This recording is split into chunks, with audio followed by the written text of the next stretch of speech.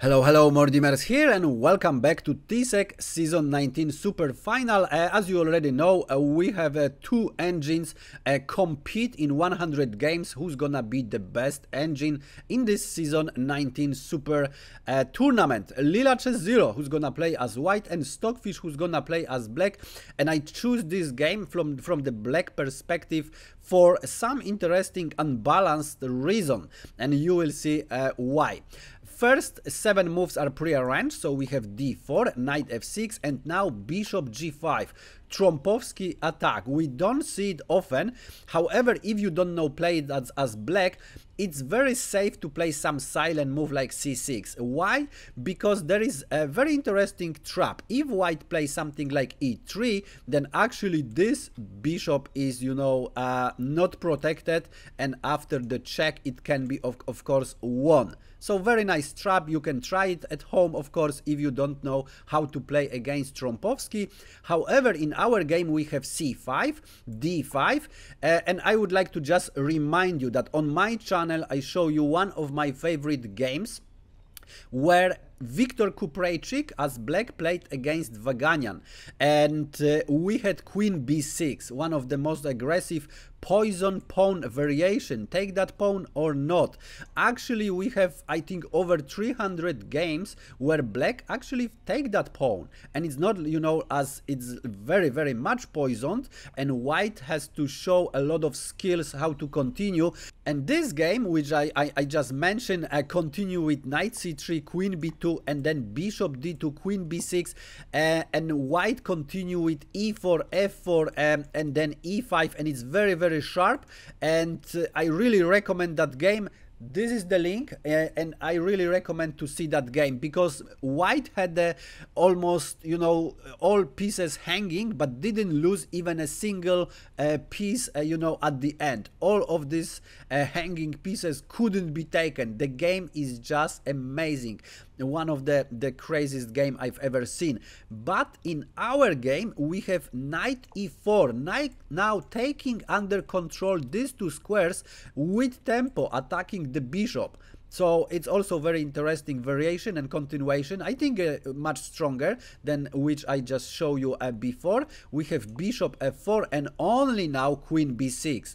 And now uh, how to how to continue uh, bishop c1, believe me or not, is the main idea for white. So imagine you just set up your bishop on c1 again, and uh, and this is the best continuation. Uh, another continuation is actually knight d2, attacking the, the knight. So that's another queen c1 is the most logical one uh, actually you know defending b2 uh, however it still you know have some interesting lines uh, but in our game, the last move from the book was knight d2. Knight d2 attacking um, the knight. And now Stockfish is on its own. So how to continue? You of course could take the knight, uh, but Stockfish just pick up this pawn. And this is actually the main move in this, um, in this variation.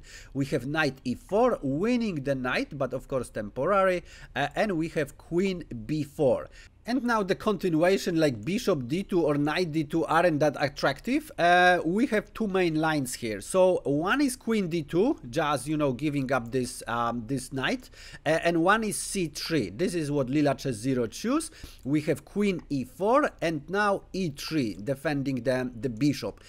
And here Stockfish actually played the, the best move in the position g5, sacrificing the pawn and misplacing the bishop a bit. Uh, human usually in this position, because it's a well-known position, uh, play bishop g3. However, after bishop g7, black have a very very nice um, game plan. You know bishop c3 is a threat uh, of course.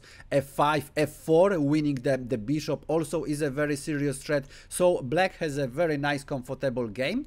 Uh, also what human tried before was f3 making a space for the king kicking the queen so queen goes to g6 um, and the game also can continue so the bishop can come to, to g3. However, black usually stands uh, better as well.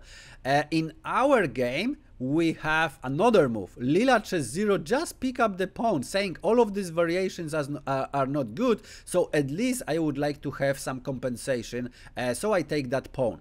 We have queen e5, now attacking the pawn and also attacking the bishop, so uh, bishop have to be defended. We have knight f3 with the attack on the queen, and now of course queen c3 with check. Knight d2 blocking the, the check, and now we have d6 very typical move opening the diagonal for for the bishop. We have rook c1 and here stockfish didn't play uh, a queen a5 it looks like the most logical move queen a5 keeping a pressure on the pawn uh, you know keeping the pin um, on d2 so the knight cannot be moved. Uh, but rather queen g7 interesting that now this bishop which naturally belongs to g7 is blocked cannot be moved. So stockfish you know it looks like some shenanigans. However it's uh, very deeply of course calculated.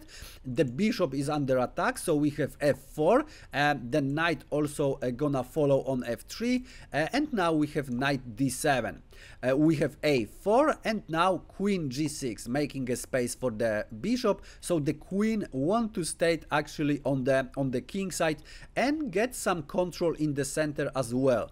We have knight f3 as planned and now how to continue. Actually h6 could be very interesting idea because if the bishop moves to h4 uh, then we would have bishop g7 very nice development. Let's say king f2 very natural. Then knight f6 uh, already with some uh, threat so white would probably just exchange. And after queen f6 look at this position. Black has a very nice position, one extra pawn.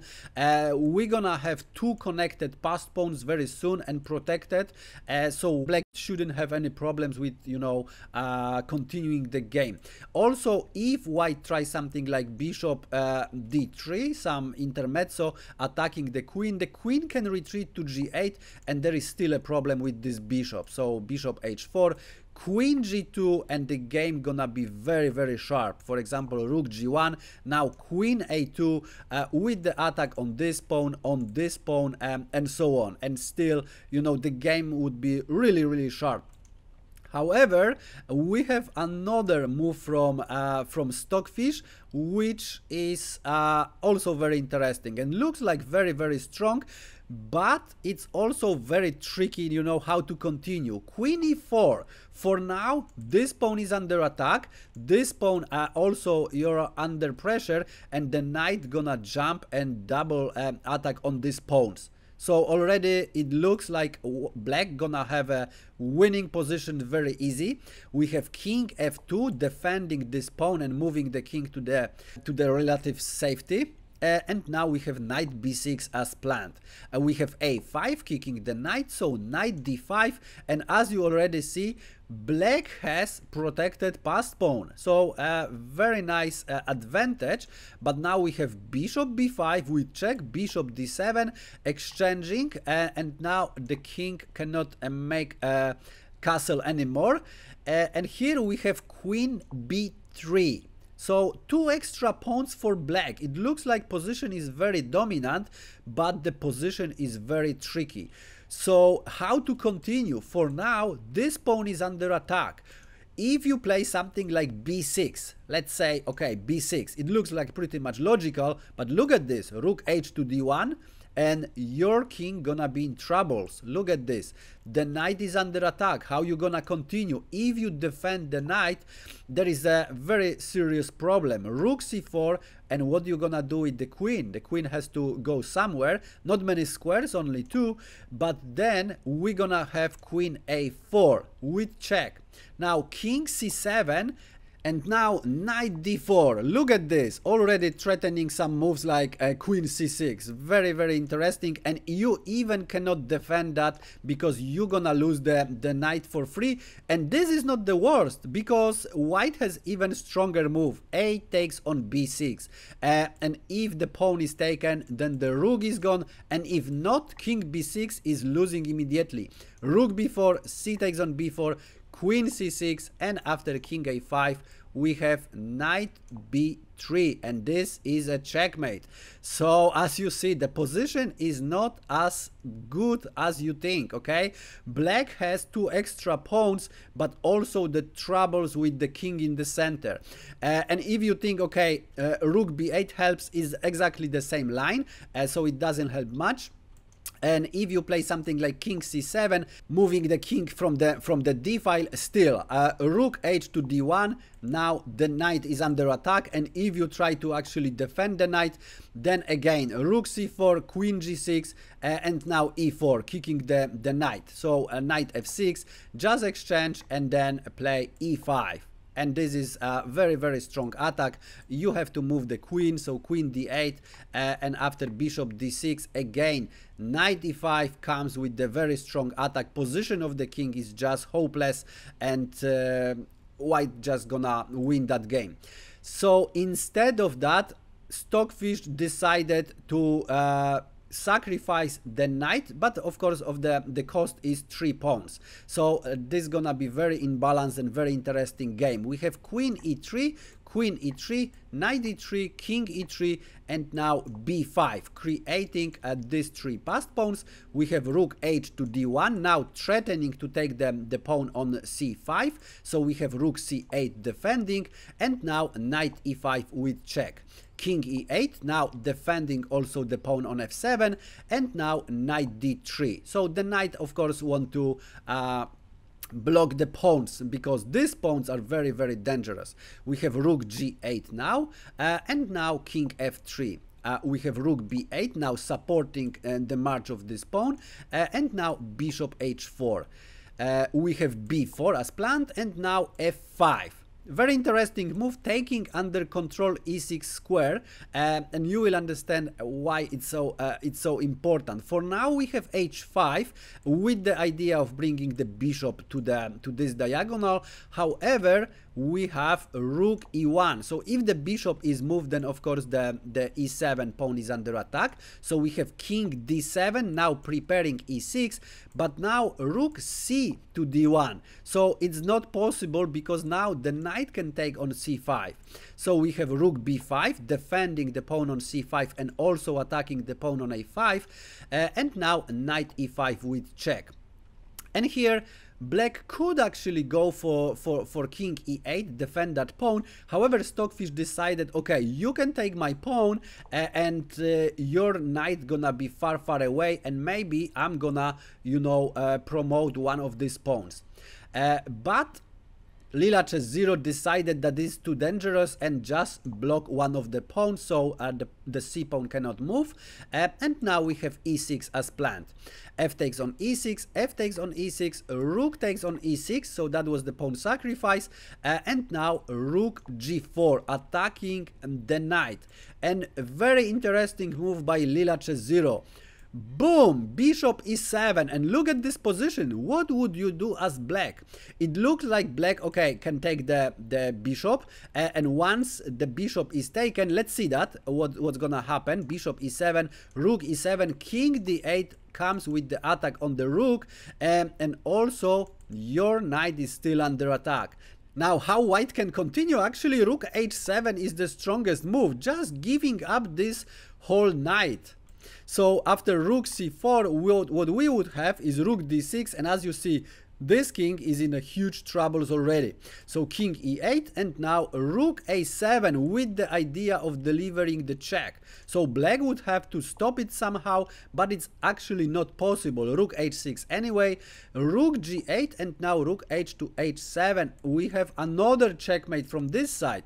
So rook b8, but then simply rook a to e7 here we cannot go with the king because that would be the checkmate. So king d8 uh, and now a6 rook a8 uh, a7 and uh, of course the rook gonna come uh, to b8 and win the game. And black cannot do much. If king c8 then actually rook c7 the king has to go back uh, and then rook b7 and again this is a very serious threat. So king c8 rook h to d7 wins the game there is the checkmate in one move. So just to survive black has to give up the material. But of course they're gonna be uh, checkmated anyway. This pawn gonna promote or um, the rook's gonna deliver the checkmate. So as you see it looks like you know very very simple idea. However it doesn't work because of all of this mating net. So this is why we have rook c4 uh, and now bishop f8 so just exchanging the pieces uh, and now rook e5 and here we have also very interesting idea by Leela Chess Zero. Rook e7, king c6, and now look at this. Boom! Rook d6, exchanging the rooks and winning the pawn, okay? Uh, very, very tricky, so we have king d6 and now rook a7 with discovered check and of course winning back the material. So king c6, rook a5 uh, and now rook c3 with check. We have king e4 centralizing the king, so what's going on uh, on the board? Black had uh, three pawns for uh, for one piece. However, at the end we have only one pawn for one piece. So are these pawns still dangerous? Uh, that's a very good question. For now, the bishop and the rook uh, keep an eye on c5 so this rook still is, you know, babysitting the pawn. Uh, we have rook c2 now going after these pawns. Uh, and now we have h4. So of course rook g2 cannot be played because uh, rook c5 wins the pawn. And after king b6, uh, winning even uh, more material and white should actually win that game. So this is why this rook st still have to stay there. So this is why we have b3 rook a6 with check, king b5, and now rook a8.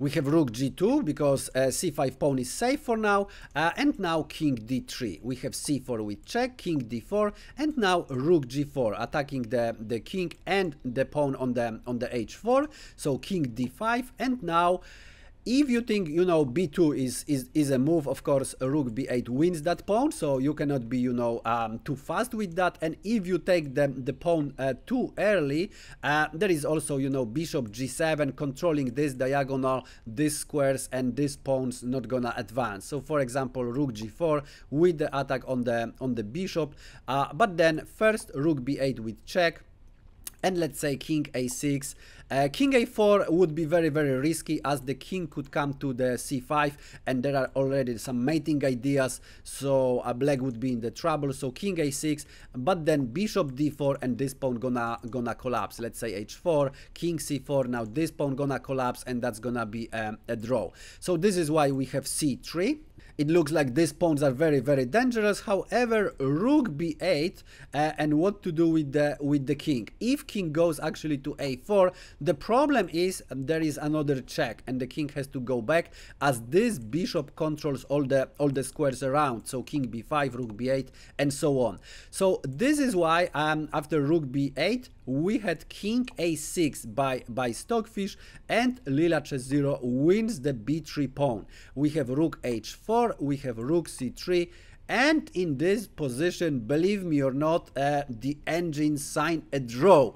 So very interesting, very sharp game. However, it ended in a draw and in the game with opposite colors we also had the draw. However it was more more stable without any uh, without all of these past pawns and ideas. So i think the game was interesting. Even it ended you know uh, it, the end maybe it was a bit disappointing but still the game i really enjoyed that game.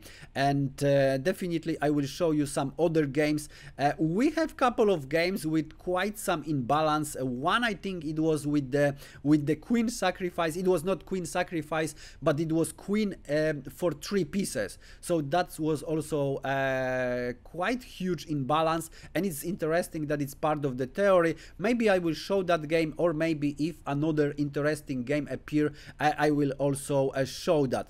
Um, and in the next game i will show you uh, some some games from the altibox tournament. So if you like this video press like. If for some reason you don't like press unlike. And press subscribe smash the bell button thanks for watching and see you in the next one